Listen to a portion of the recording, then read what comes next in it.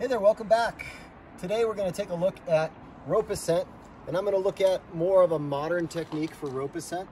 The old traditional technique for ascending ropes in an alpine environment uh, involved the use of friction knots, most commonly uh, prusik hitches, um, to ascend the rope, and that's a really great and valuable skill. And uh, there are times when that's probably the most effective means, um, and certainly they're lightweight and they tend to work reasonably well on icy ropes. But these days, a lot of times I'm um, traveling on a glacier with a microtraction. And I may already have that microtraction rigged on my harness off of my belay loop. So in this situation, we're simulating a crevasse fall, so you're gonna have to ignore this obvious granitic environment here in Yosemite and imagine ice and snow walls, this being an icy snowy wall of a crevasse, and I am clipped in to an overhand on a bight, which is a totally acceptable way to attach to a glacier travel rope. You don't have to have a butterfly. And I have a triple action carabiner, in this case a magnetron, Black Diamond magnetron. And then right above that, I have this microtraction rigged, okay? And this microtraction is rigged without the teeth engaged. So the device is open. So what's catching me is this knot being jammed into that device. So I'm not being caught on the teeth of the microtraction should I fall into a crevasse. Now the system that I'm using here, I don't have a pre-rigged friction hitch with um, leg loops hanging. And typically in summer season in the Northwest, um, or in uh, you know parts of British Columbia where there's a melt freeze snowpack, I won't climb or I won't travel on glacier with the pre-rigged friction hitch because one of the number one causes of crevasse fall is slipping and tripping, and I want to reduce the tripping hazard. So in this case, I've gotten really unlucky. I didn't trip and fall in a crevasse, but I fell in anyway, and I'm gonna need to rig that. So I've got a few resources on my harness and very few. I was doing a technical route in this case, and so I do have an ATC I could use if I wanted. I'm probably not gonna use that. I have a single length runner. That's sometimes useful for running protection or clipping ice screws if you have pitches of ice climbing. I've got a double length runner, and I have a friction hitch that's a normally used as a backup for my ATC. So this is nice because it's not that long. I don't have to carry a really long friction hitch like you would for a waist prusik or a foot prusik, so it's less of a tripping hazard. So with these resources, all I have to do is attach any type of friction hitch above. So in this case, I'm just gonna do an auto block because the auto block is easy to do with gloves on. And if you wrap it enough, it still works quite well on skinny ropes or on icy ropes.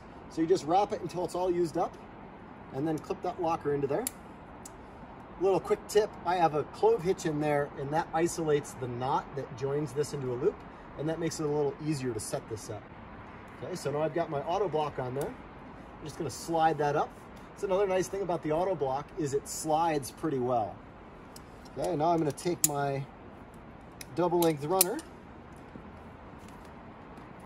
You can use that little quick tip again. I can make a clove hitch right there to isolate the SO bar.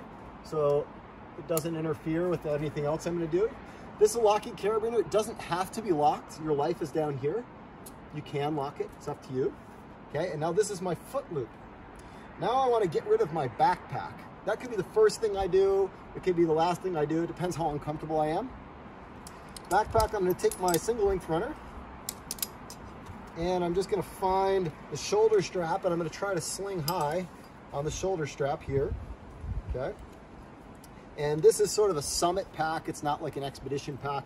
So I'm not really worried about having it hang off of a shoulder strap. Okay, so now I can take this off and clip that into my belay loop right here at the bottom, underneath everything, so it's not gonna get pinched. Okay. Slide that on up, my shoulder strap, so it cinches at the top. Okay. Cool, so now that's gonna hang down and beneath me while I ascend this rope. So I can stick my foot into here, slide that up as high as it's comfortable for me to stand up in it. Now I'm gonna stand up and I'm gonna grab this knot here and I'm gonna find the button. So there's a button on this device. Maybe you can see it there. I'm gonna press that. Now the teeth are engaged and now I pull up, okay?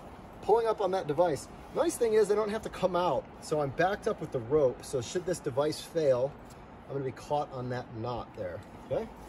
And all I have to do is continue to grab in that loop and pull, and you'll see it's a very fast, efficient system for climbing a rope.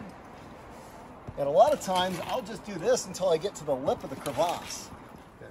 So once I'm at the lip, I'll take that other locking carabiner and put it on there. And I'll typically back myself up with a clove hitch, or you could do an overhand and a bight or any bight knot and clip that in. Just to make sure that if something were to fail, like this jams into some ice and starts to slip, or somehow this were to become disengaged, I'm not gonna fall all that distance down to that knot. I'm gonna fall just to this back up here, okay? And then I'll just continue on up, and if I need to adjust my backup, then I can simply pull through on the clove hitch and then cinch it down. And you can check out, check out our clove hitch video to see how to do that. But this is more of a modern way of ascending a rope. It's very efficient. It takes very little effort and your backpack comes up with you, provided it's not a monster expedition pack. Usually I could do this with packs up to around 40 pounds, but I wouldn't want to go much more than that.